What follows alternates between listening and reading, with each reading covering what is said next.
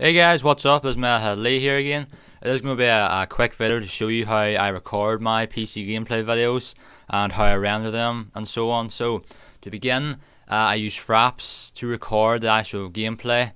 So, what you have to do is you download that and install it. And when you want to record, you simply open it and you go into movies. Uh, you select a file where you want to save the clips to. I recommend doing it on an external hard drive uh, just as frees up a space for the computer. Uh, I, I would recommend setting a, a, capture key to record video, something that's not used in the game you're using. So I've done for the number one on the numpad. So once that is done, you select your capture settings.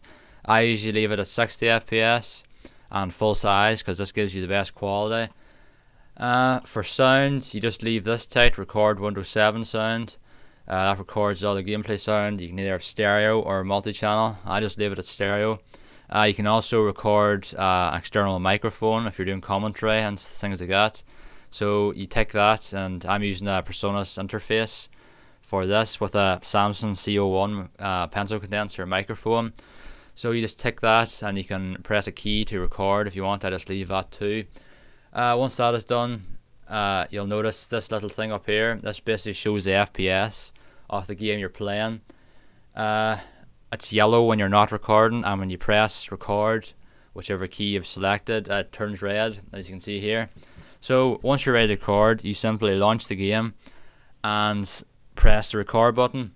And once you're done, you press the, the same button again. And once that is done, you can find your video here by going to View Movies. And all your videos you have recorded with Fraps will be here.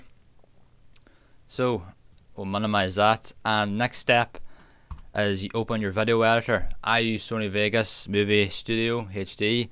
Uh, so first thing, find the file you want to use. So let's just pick this one and you can either drag it in to Sony Vegas or add it by using the insert media buttons. So once that is done, uh, you can do whatever editing you want to the video by adding titles or text over it or uh, doing color corrector, stuff like that. Uh, next is project media settings. Uh, for this, you match everything to your recording. So I've done it in 1080p. Uh, change it to 60 FPS or 49 or 59. Sorry. Uh, next uh, rendering quality put to best and leave that and apply and okay. So that should be your video now with a pretty good quality. So what I usually do next is go to render as. Uh, I use Sony AVC as the output file and I just use the HD 1080p 60 FPS uh, template. So once you've done that you click render and that's it so thanks for watching guys. Stay tuned for the next video. Thanks.